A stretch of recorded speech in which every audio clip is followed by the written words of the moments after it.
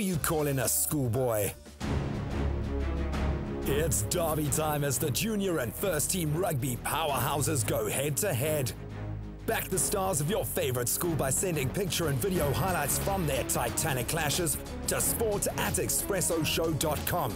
If they make the cut, we'll take the battle to TV's front lines and broadcast them to the world.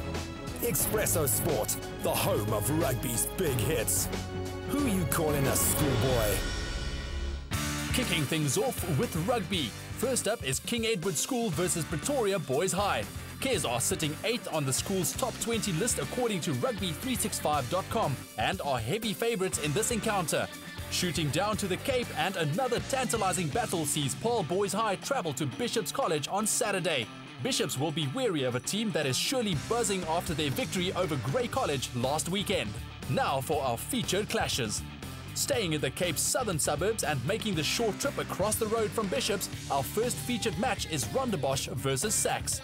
Things kick off or rather push off with the boys hockey on Saturday morning 9am. This is sure to be an exciting start to the battle at Rondebosch as both sides have some exciting talent ready to show off their skills. With the amount of depth they have and only two losses all season, assistant coach Miguel Edwards is confident in another Rondebosch victory. This will be the first meeting this year which sees tenacious Cameron Calder's team taking on the brute force of Dani Crano and the rest of the Rondebosch forwards. Both teams will be fighting for bragging rights in the greater Rondebosch area. A lot of history here, so it's sure to be a good game. The Expresso Show will be there to catch all the action as it unravels play by play. Moving down to KZN now and it's reunion time as Kearsney and Maritzburg College lock horns once again on Saturday. The age-old rivals are sitting closely together on the rugby standings and will be laying everything on the line for their schools. Maritzburg, who have won their last two games, will be the favourites. But after having a bye last weekend, the boys from Kearsney will be super focused and revving to defeat their bitter rivals.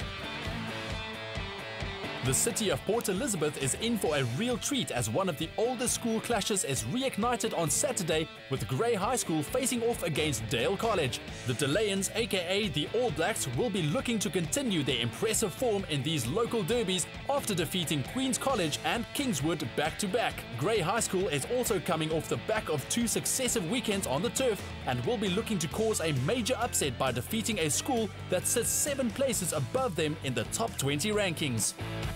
In schoolboy rugby news, Voortrekker High School has suspended one of their pupils from playing rugby for the rest of his school career after he was found guilty of racially abusing an opponent in a match against Pinetown Boys High School. The principal was quoted in sports24.co.za as saying, Voortrekker has for many years been known for the good, hard, clean rugby that we've played and this behavior from coaches, players and parents will not be tolerated. Don't forget that the Under 28 Nations Cup is currently underway in Cape Town, so do go out and support Amajita in the final three days of the tournament. Games will be played at Athlone and Cape Town Stadium alike, and tickets range between 20 Rand and 50 Rand. Who you calling a schoolboy? Stay with Expresso and SABC3.